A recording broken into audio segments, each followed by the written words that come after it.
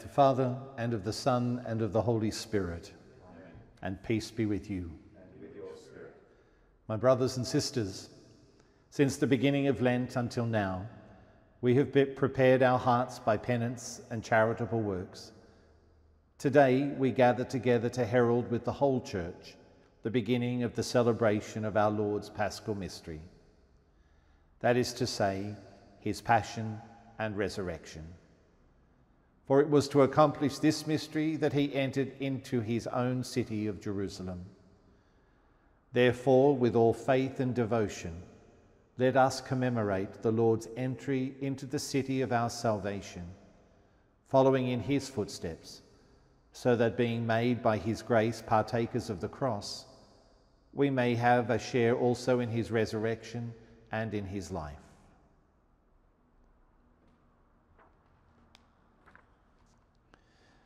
And so let us pray.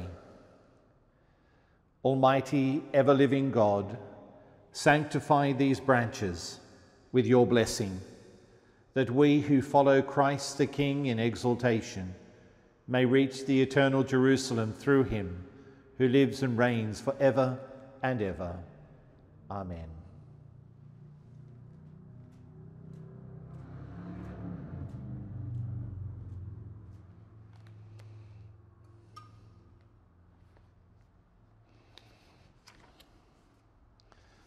And the Lord be with you.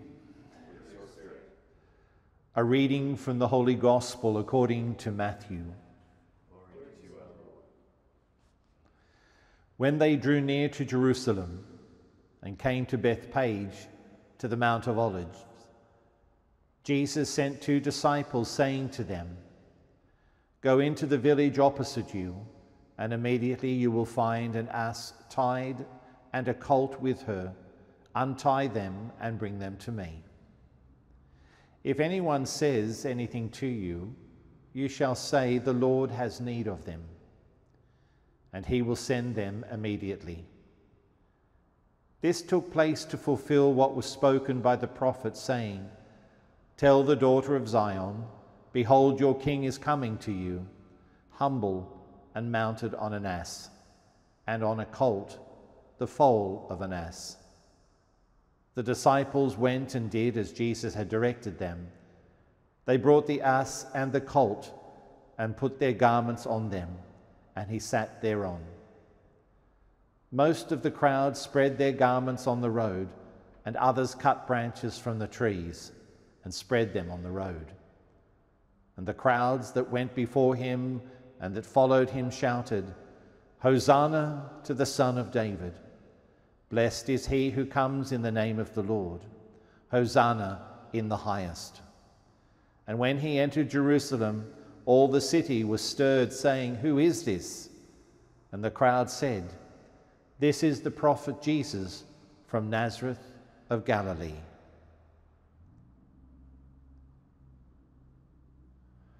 The Gospel of the Lord. Praise to you, Lord Jesus Christ. Dear brothers and sisters, like the crowds who acclaimed Jesus in Jerusalem, let us go forth in peace.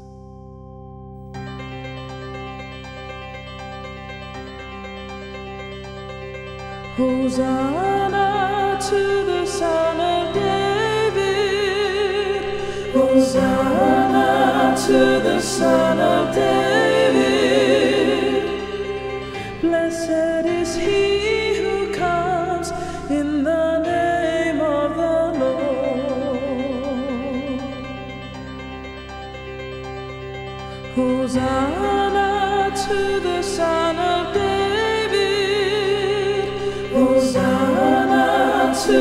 To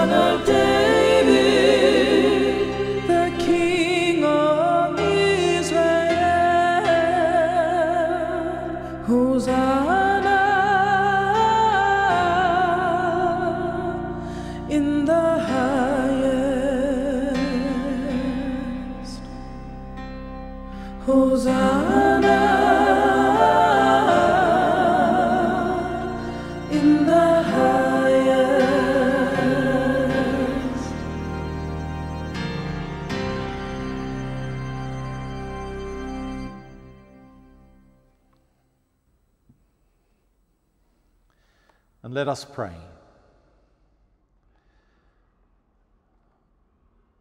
Almighty, ever living God, who, as an example of humility for the human race to follow, caused our Saviour to take flesh and submit to the cross, graciously grant that we may heed his lesson of patient suffering and so merit to share in his resurrection, who lives and reigns with you in the unity of the Holy Spirit, one God for ever and ever.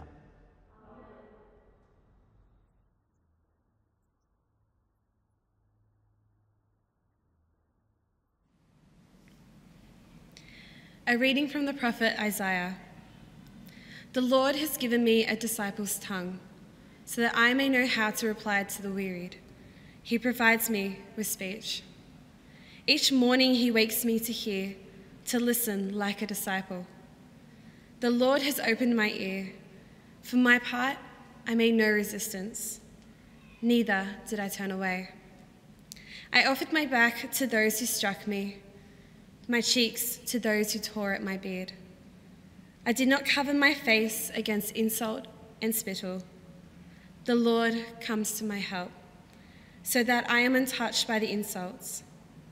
So too I set my face like flint. I know I shall not be shamed. The word of the Lord.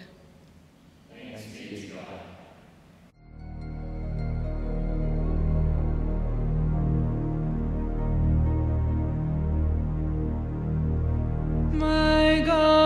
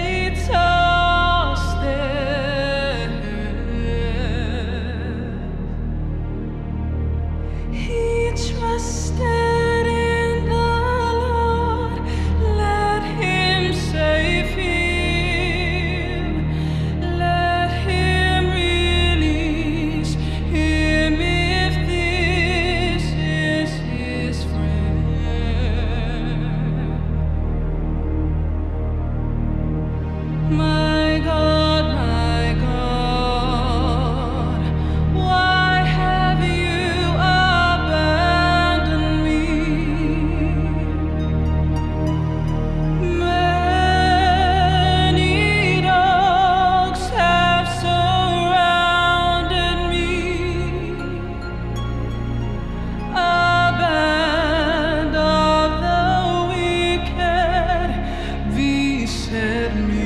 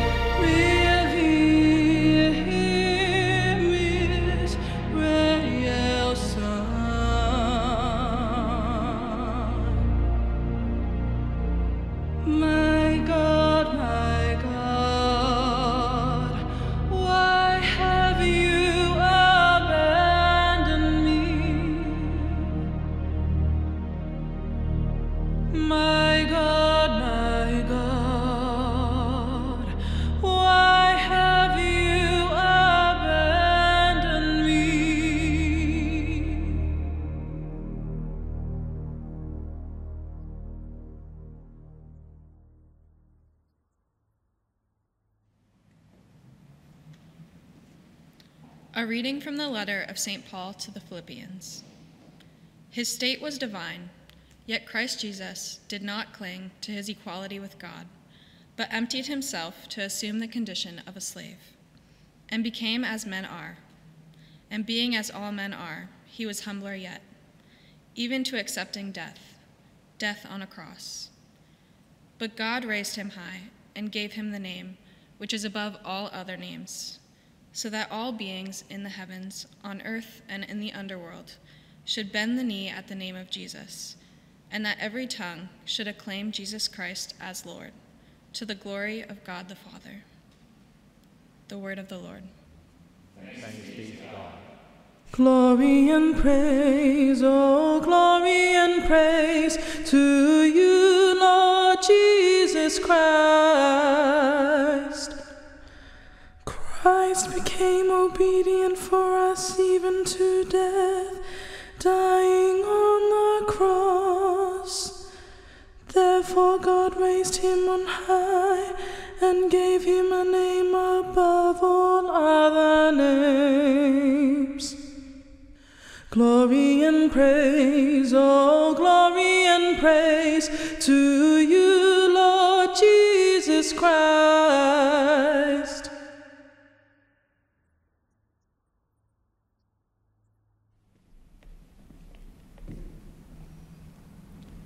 The Passion of our Lord Jesus Christ, according to Matthew. Jesus was brought before Pontius Pilate, the governor, and the governor put to him this question Are you the king of the Jews? Jesus replied, It is you who say it.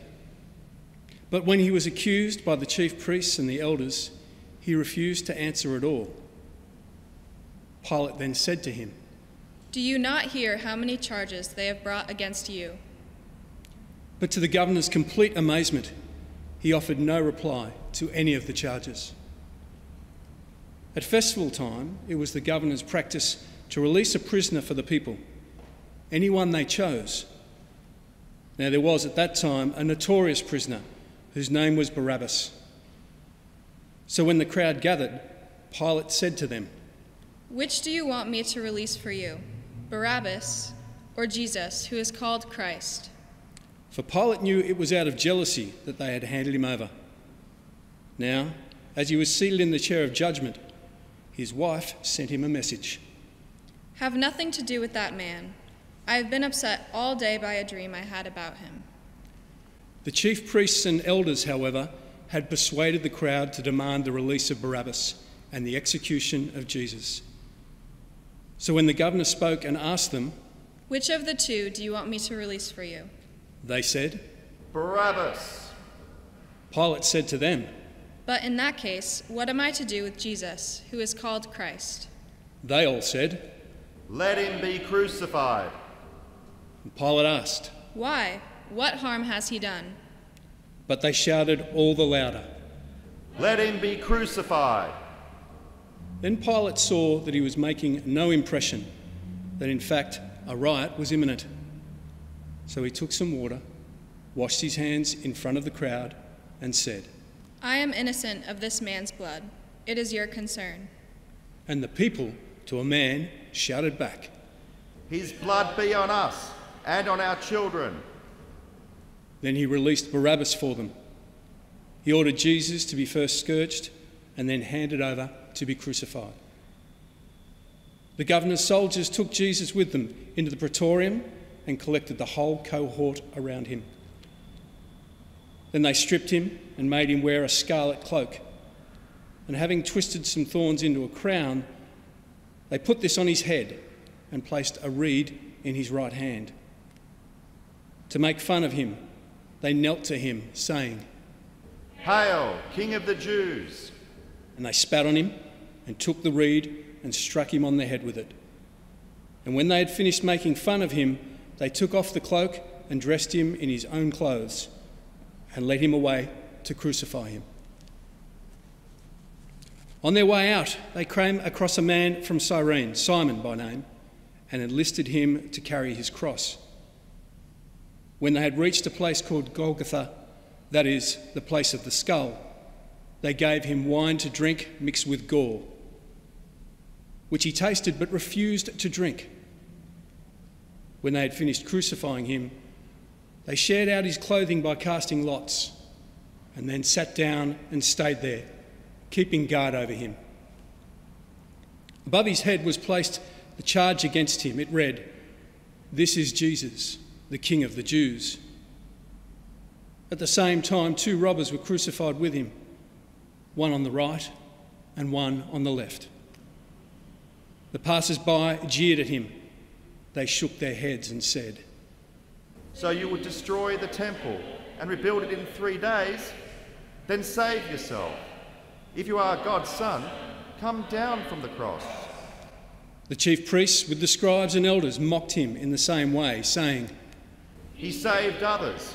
He cannot save himself. He is the King of Israel. Let him come down from the cross now, and we will believe in him. He put his trust in God. Now let God rescue him if he wants him. For he did say, I am the Son of God. Even the robbers who were crucified with him taunted him in the same way.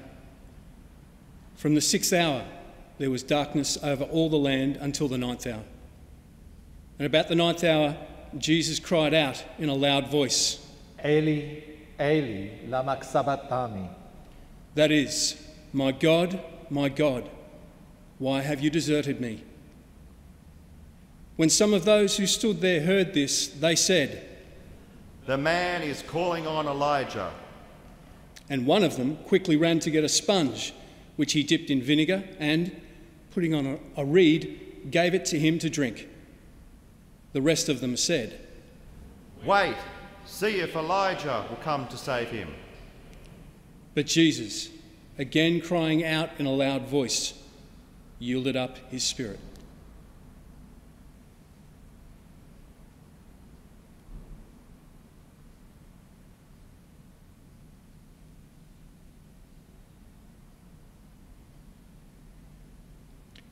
At that, the veil of the temple was torn in two, from top to bottom. The earth quaked. The rocks were split. The tombs opened, and the bodies of many holy men rose from the dead. And these, after his resurrection, came out of their tombs, entered the holy city, and appeared to a number of people. Meanwhile, the centurion, together with the others guarding Jesus, had seen the earthquake and all that was taking place. And they were terrified and said, In truth, this was a Son of God. The Gospel of the Lord. Praise to you, Lord Jesus Christ.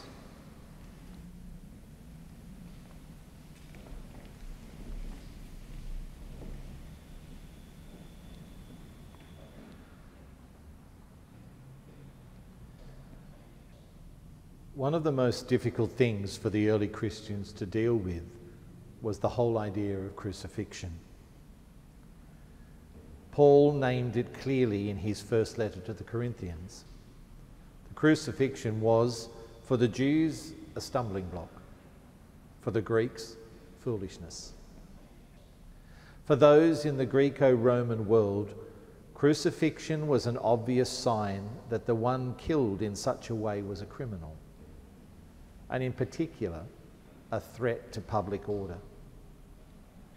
For the Jews, it was even worse. To be killed in such a way was a sign of God's curse. In Deuteronomy in chapter 21, the words are clear that anyone put to death by hanging on a tree is cursed by God. The difficulty that the early church had with crucifixion can be seen, or as the case may not be seen, in the early iconography, the art of the church. The symbols of the church were like things like the fish or the Chi-Rho, that sign with the X on top of the P. The first recorded depiction of the crucifixion was not until about the 5th century, when a crucifixion image was carved on the doors of the church of San Clemente in Rome. Throughout the Gospels of Lent, we have witnessed Jesus being shown to replace or reinterpret the old ways of seeing and understanding how God sees the world, and in particular, how God sees humanity. The law and the prophets are subordinate to Jesus. The promise of God is not to be limited by adherence to a particular understanding of faith or by a person's moral circumstances. Disability and even death are not judgments and punishments, but rather they're opportunities for the glory of God to be revealed. In the Passion, we witness the law of Deuteronomy set aside. If one hanged on a tree is truly cursed of God, then how can he still be the Messiah? Either he is not the Messiah or the curse does not stand. If that curse does not stand for Jesus, then neither can it stand for Judas, who is under the same curse by his own hand. If this curse no longer stands, what then of all the other curses found in the books of the law? I wonder how many who are planning to eat a meal of prawns or shellfish on Friday see themselves cursed because it has been established in the book of Leviticus to be such the case. The curses of the scripture, when properly unpacked, are usually reflections of the times and the culture in which they came. Eating shellfish in the desert was not a wise move. You were more likely to get food poisoning, and everyone knew in those days that being sick was a punishment from God. While most of the curses of the scripture have been quietly dropped, there's still a few that the old favourites of the literalists and the bigots that are being shouted from pulpits and on street corners today. More often than not, as they did when they were first written, these curses reflect the minds, the fears, and misunderstandings of those who thunder them than they do the mind of the one whose response to the curse of Deuteronomy 21 was an empty tomb a few days later. The passion of Jesus abolishes the curses. At its most fundamental, it abolishes the false understanding that death itself is a curse or a punishment from God. Rather, the passion of Jesus is an invitation to a closer relationship with God, foreshadowed by the invitation to this meal that we celebrate today. The only curses left are those that we impose on ourselves and those that we impose upon others.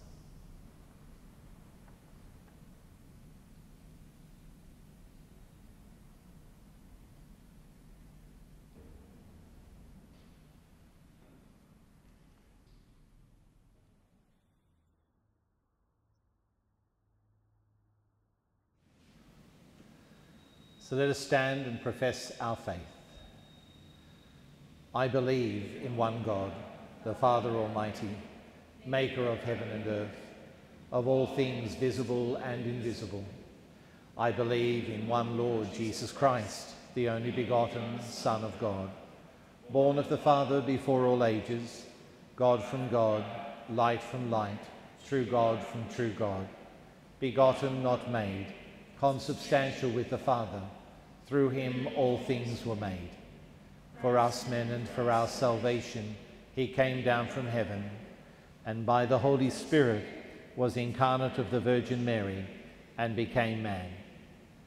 For our sake he was crucified under Pontius Pilate.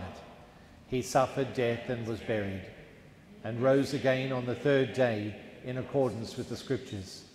He ascended into heaven and is seated at the right hand of the Father.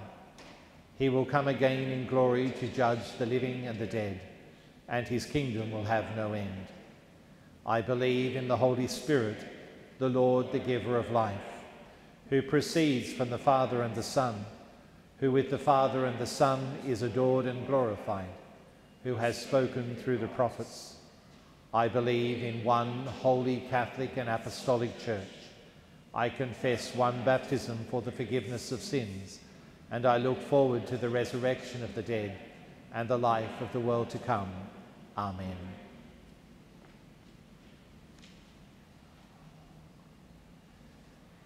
Sisters and brothers, let us make our prayers before God, the Father of our Saviour.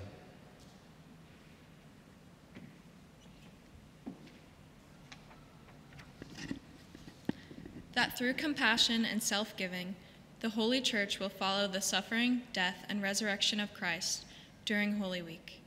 In your mercy. Lord, hear our prayer.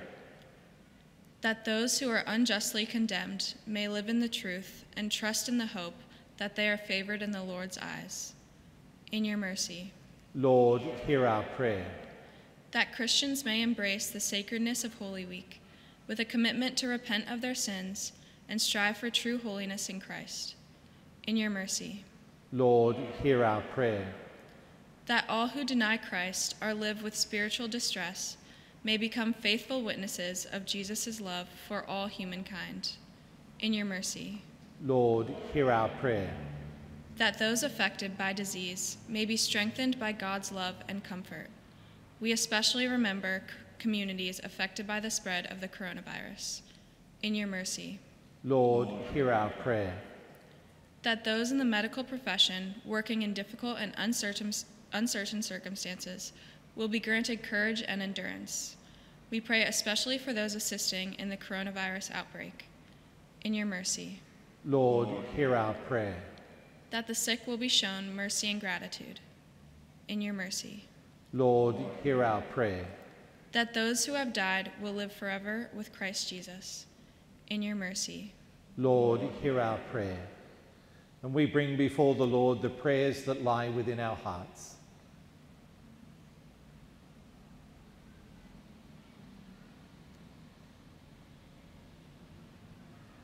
God our Father, you gave us your Son as life for the world.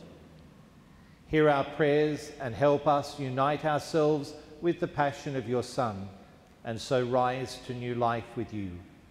We ask this through Christ our Lord.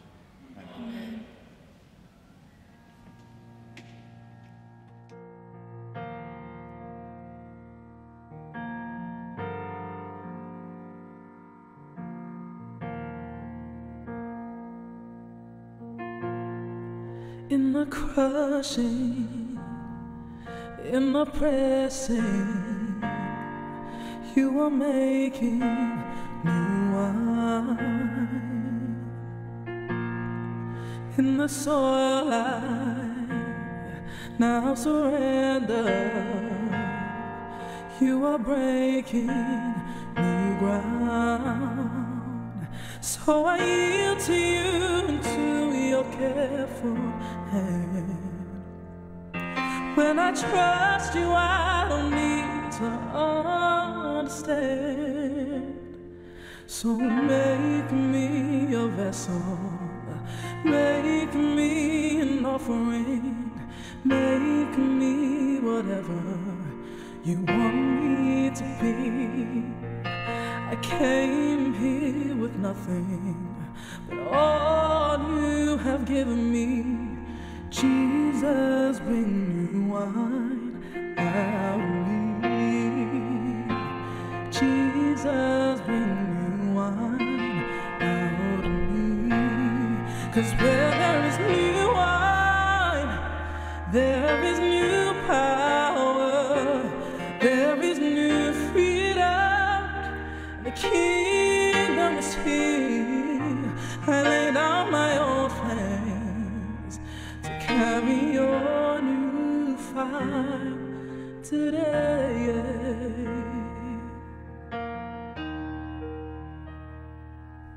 So make me a vessel, make me an offering, make me whatever you want me to be. God, I came here with nothing but all you have given me. Jesus, bring new wine out of me.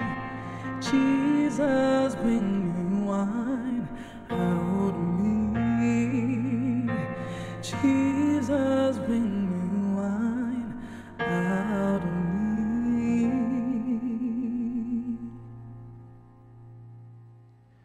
Pray, sisters and brothers, that my sacrifice and yours may be acceptable to God the Almighty Father.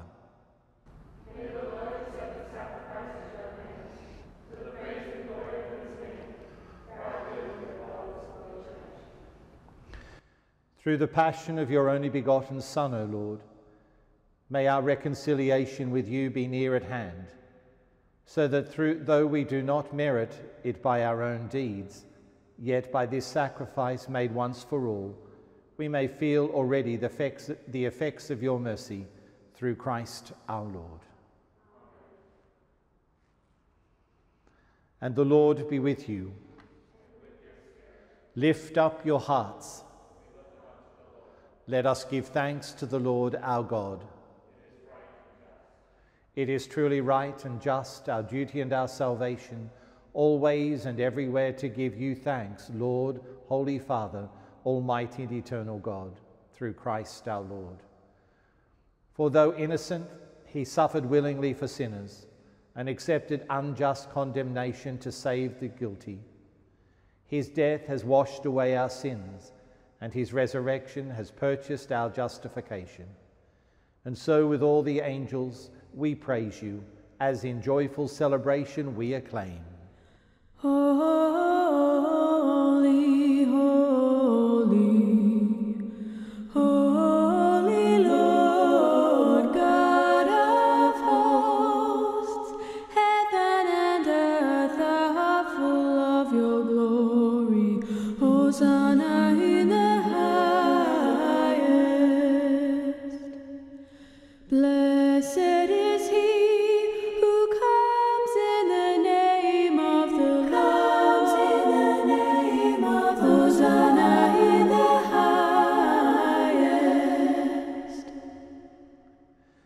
You are indeed holy, O Lord, and all you have created rightly gives you praise. For through your Son, our Lord Jesus Christ, by the power and working of the Holy Spirit, you give life to all things and make them holy, and you never cease to gather a people to yourself, so that from the rising of the sun to its setting, a pure sacrifice may be offered to your name. Therefore, O Lord, we humbly implore you by the same Spirit, graciously make holy these gifts we have brought to you for consecration, that they may become the body and blood of your Son, our Lord Jesus Christ, at whose command we celebrate these mysteries. For on the night he was betrayed, he himself took bread. And giving you thanks, he said the blessing, broke the bread, and gave it to his disciples, saying, Take this, all of you, and eat of it. For this is my body, which will be given up for you.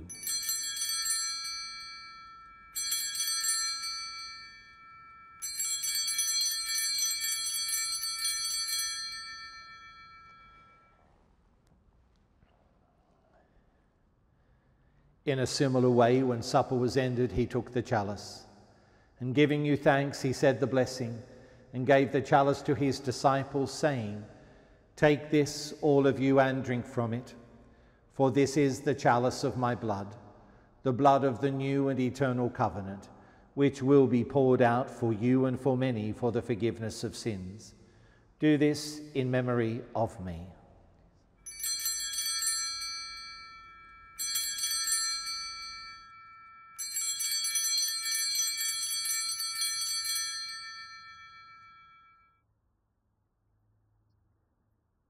The mystery of faith. Save us, Savior of the world, for by your cross and resurrection you have set us free.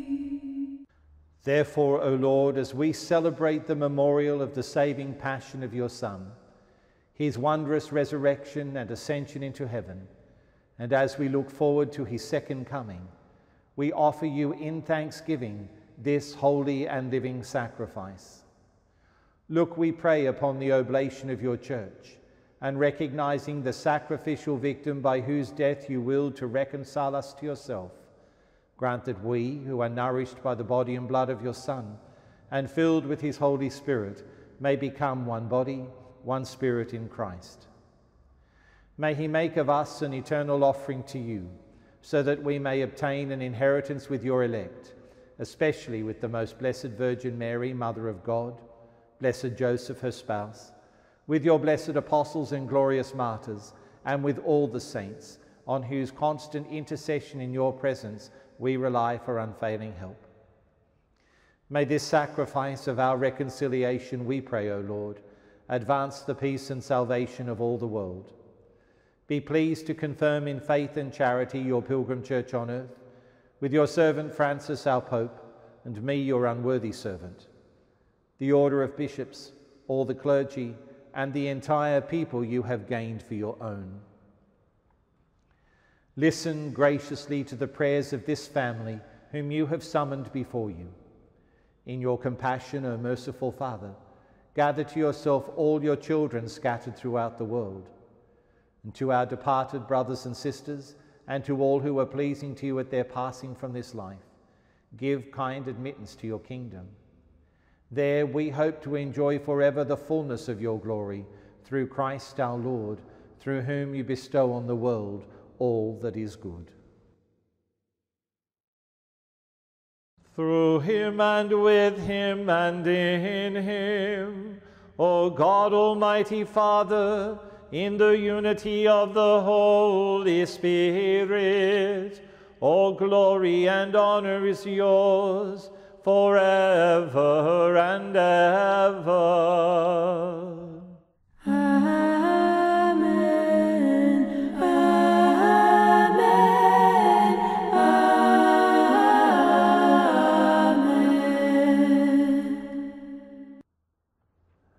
At the Saviour's command, informed by divine teaching, we have the courage to pray. Our Father, who art in heaven, hallowed be thy name.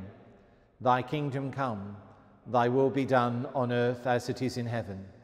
Give us this day our daily bread, and forgive us our trespasses, as we forgive those who trespass against us. And lead us not into temptation, but deliver us from evil. Deliver us, Lord, we pray, from every evil. Graciously grant peace in our days, that by the help of your mercy we may be always free from sin and safe from all distress, as we await the blessed hope and the coming of our Saviour, Jesus Christ.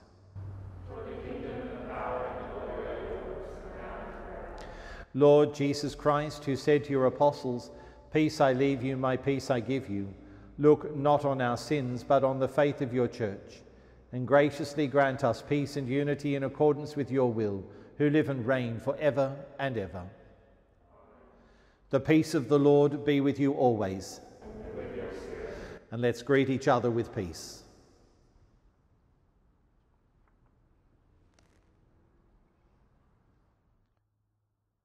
Lamb of God,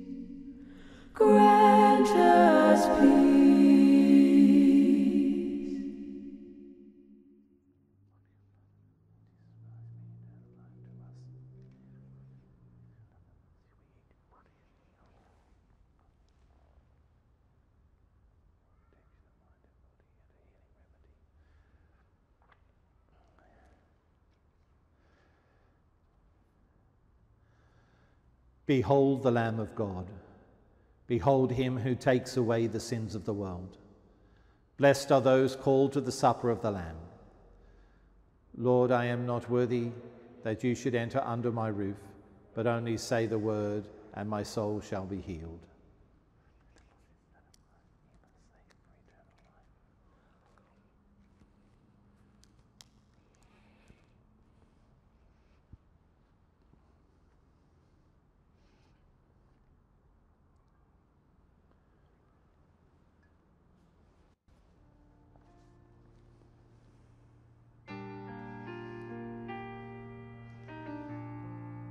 I invite you to join me in now making a spiritual communion.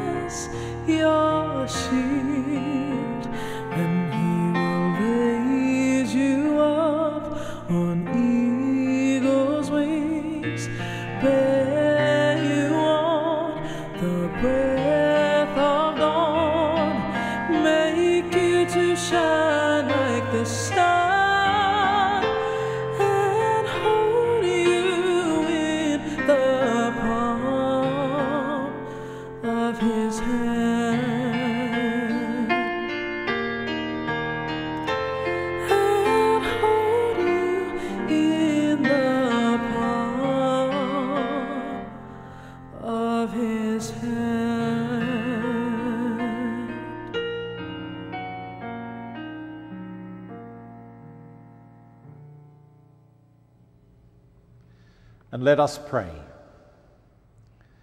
Nourished with these sacred gifts, we humbly beseech you, O Lord, that just as through the death of your Son you have brought us to hope for what we believe, so by his resurrection you may lead us to where you call, through Christ our Lord. The Lord be with you. Bow down for the blessing. Look, we pray, O Lord, on this your family, for whom our Lord Jesus Christ did not hesitate to be delivered into the hands of the wicked and submit to the agony of the cross, who lives and reigns for ever and ever. And may Almighty God bless you, the Father, the Son, and the Holy Spirit. Go in peace to love and serve the Lord.